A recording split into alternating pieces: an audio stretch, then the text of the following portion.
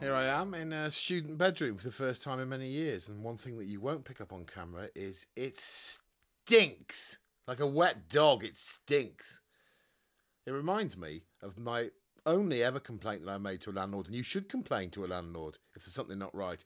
I told him that the curtains weren't right, they didn't close properly in my bedroom. I woke up at seven o'clock in the morning, lying on my bed in just a pair of pants, pants mind, none of your fancy boxer shorts, to discover something like this. All right, Treacle. Oh, yeah, really good.